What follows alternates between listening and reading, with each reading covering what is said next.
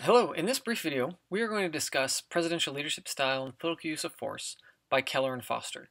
So to recap, we have examined the presidential use of force over the evolution of the study of it over the last, really kind of the 90s and then this piece. But we see from Ostrom and Job, I guess in the 80s, to James and Oneal, to Fordham, that how we understand when presidents use force evolves. It changes as we discover new ideas, or new theories or, or generate them depending on epistemology. What this paper does is it introduces something about personality and the fact that presidents are singular individuals. They're individuals who make that choice. Now, I'm not going to read this, obviously, but remember all of the non-video slides are available in Canvas. So if you want to have them up instead of pausing a video, or sometimes there will be slides where this video will be covering a few things. Remember, the non-slides are available in Canvas. When we think about this article, one thing that you have to take away with it is diversionary uses of force, right? So whether a, a president uses force to distract the public or to demonstrate competence or to try to win a domestic election, gambling for his election, then it sounds so good. It's such a convincing story. But there is limited evidence for it, and some of it's inconsistent. Now, obviously, we have not read nearly, we've only put our, our toe into the literature on diversionary use of force, but I want to use it to identify the evolution of ideas or how ideas evolve in science through the scientific method. What this paper introduces is personal identification of risk. And what they do is they borrow from psychology this concept of locus of control. And this refers to one's belief about whether one's outcomes are determined by your own effort. You have an internal locus, right? What happens in my life is because of what I do. I mean, there's other out, you know, outside factors on, on the periphery, but most of it is what I decide to do. The other, an external locus of control, is that you, you know, the world shapes the events, whatever happens to you is not because of anything you've done, it's because of how the system works. So if you think from a presidential level, are you are you a president that says I shape history or does history shape me? Um, what are the events in my administration? How does it affect you?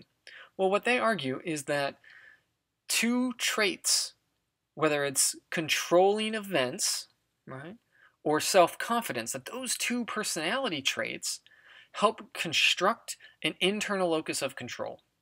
So the higher that you think your ability to control events and the higher your self-confidence, the more that you have a, an internal locus of control. They argue that presidents that have higher levels that, of that internal will be particularly likely to engage in diversionary actions. Now why? Well, because they control events. Think of it especially as it relates to escalation if you are a president that says, well, whatever happens to me is a consequence of the world and I don't really shape events, you'd be much more risk averse because you can't control what may happen. If you're an internal locus of control president, you would say, well, this might start a war, but I'm going to do it because I think I control events. The research design, this is an important piece. Part of the reason why I use this is that Next week, we'll look at Howell and Pevehouse, but we've already looked at the dependent variable. So we have multiple studies that use the same dependent variable with different explanatory variables. We want to understand why presidents use force. No one paper will tell us that. Right? That's part of the scientific method. No one paper is definitive.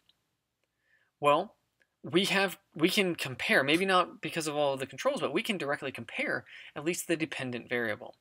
The time samples on some of them do change. So it's 1953 to 2000 um, it's also going to be quarterly as mentioned. Now there is an interaction term and this is based on GDP change and approval change.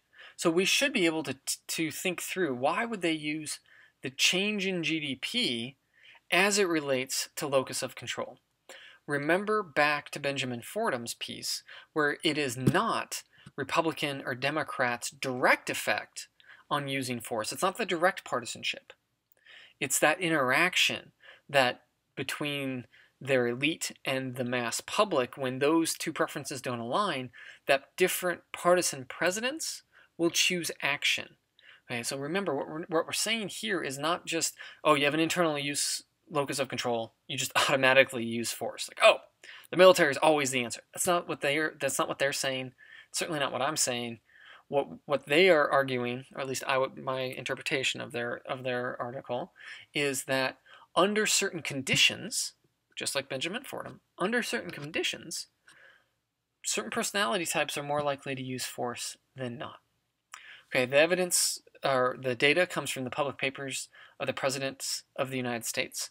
This is an important um, database of terms. Anytime the president speaks in public or communicates in public or releases a statement or tweets, it's documented. So what they're saying here is they're gonna we're gonna code presidents some aspects of presidents' personalities. There's two. Should go back through the slides if you don't remember to identify where the president lands. How do they do that? This is a, a fascinating coding process. They it's a digital coding process where they look for, for key terms, keywords developed on psychology and groupings of words. And what this slide will show you as you read through it is think about if you accept how they code the explanatory variable. How do you measure self-confidence? How do you measure the ability to control events? Now, thankfully, as a political scientist, I say thankfully, we have psychology as a whole field and sociology and anthropology uh, that can that gives us great insight into how to construct these. But I want you to look through what do you think of how that's coded? Next, I want you to think about the group the, the presidents that are covered by the data. Eisenhower, Kennedy, Johnson, Nixon, Ford, Carter, Reagan, Bush, Clinton. Uh, I was about to start singing that. My daughter knows the presidents because we have one of the songs for them. Um, and it ends in Clinton, so we have to add a whole bunch um, because the tune doesn't line up with the number of presidents. But which of those presidents do you think is going to have internal versus external control? Which of the presidents say, I can control events? Any presidential scholars out there? Don't worry, I got this wrong too the first time I read it. Well, what were the results? Now remember, these are the marginal effects. These are not the direct effects of their personality. These are, in this case, is GDP change.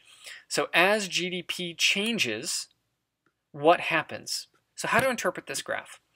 Look at the solid line. This is when there is GDP contraction at 6%, which is really high, which is coronavirus high when so when you think about that, that's an adverse event domestically that presidents may want to use diversionary force, or there might be other things going on that they want to utilize. Well, that solid line is when you have contraction. Look at the presidents. Minimum locus of control versus maximum. And here's why I think this study is so fascinating. Right? Look at the two presidents who have the most locus of control or external locus of control or internal I mean where they they think they control the events. Reagan and Kennedy. And so whether you're conservative or liberal or Republican or Democrat, what this is showing us is partisanship matters. They're not saying it doesn't. But personality does. And I would argue that if you asked most Republicans who the best president of the 20th century would be, Reagan's probably up there. If you ask Democrats, probably FDR first or Kennedy, one of those two probably, right? But they both behave similarly, are predicted to have behaved similarly, given the economic conditions. Fascinating piece. Okay, what the other two lines show you is when you change GDP, the increase in the likelihood, which is measured in the axis going up, right? So you can think of that as the slope of the lines. They become less steep as GDP doesn't change as dramatically.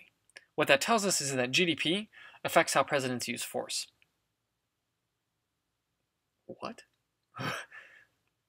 Shouldn't the use of force be separate from?